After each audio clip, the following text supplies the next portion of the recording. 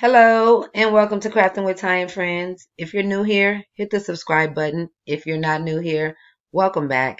Today I'm going to be showing you guys how to use pattern fill in Cricut Design Space. So I already have the image that I want to fill on my canvas. You can use this um, with any designing you're doing, cupcake toppers, gable boxes, invites, etc. So the first thing we want to do is hit upload and we're going to upload a pattern into design space.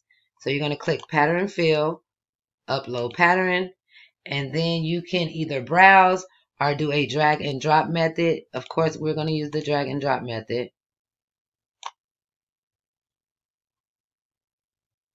Once your image shows up, you can name it and hit upload. Um, I'm just going to hit upload. It's going to come in as a print to cut and we're going to upload. And then we're going to go back to our canvas and we're going to show you guys what to do with your upload.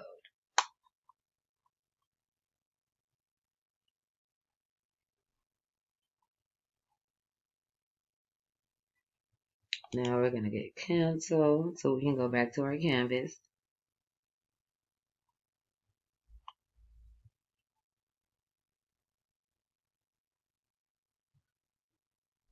Now, once you get back to your canvas, you want to make sure the item that you're trying to fill is selected.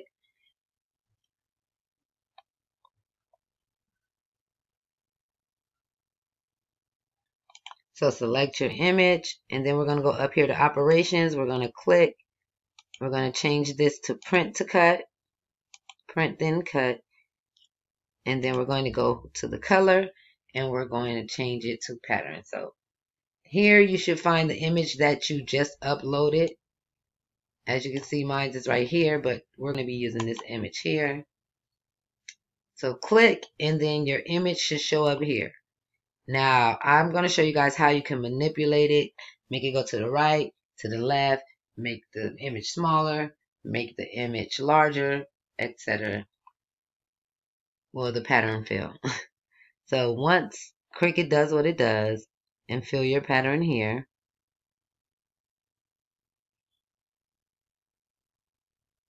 I'll show you guys the next step. All right. Okay, so once your pattern is filled, if it's exactly how you want it, great. Go ahead and do whatever you need to do, finish designing and cut, print, all that. Then you will go back to where it says print to cut, click here, and we're going to go to edit pattern.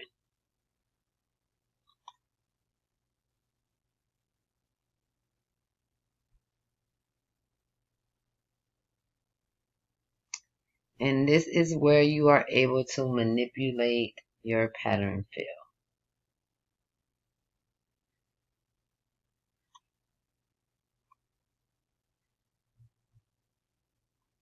You can use the scale to enlarge it. So you can scale it here or you can use the slide bar to the right to make adjustments.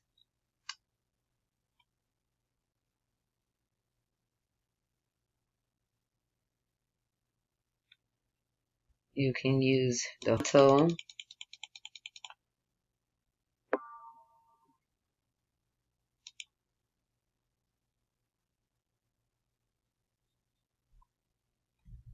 Clicking up adjusts, adjusts it to the right. Clicking down horizontal adjusts, adjusts it to the left. Vertical.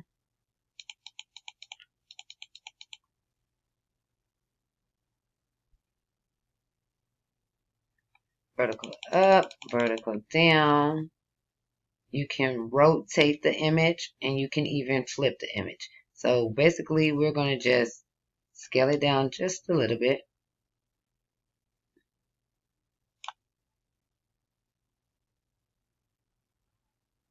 We're going to push it to the left, so I'm going to type a number instead of instead of um,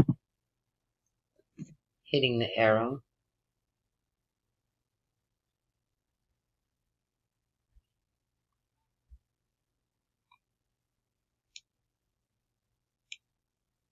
And once you get the image to your liking again, you're just going to click the arrow out of here and it should adjust on your canvas and then you can finish designing how you want.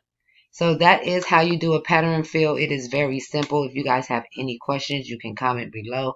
Um, make sure you guys uh, share what you create. I have a Facebook group. The link is also in the description. So join us and um, yeah, happy crafting. I said don't stop, don't stop, don't stop talking to me. Stop, don't stop, don't stop giving.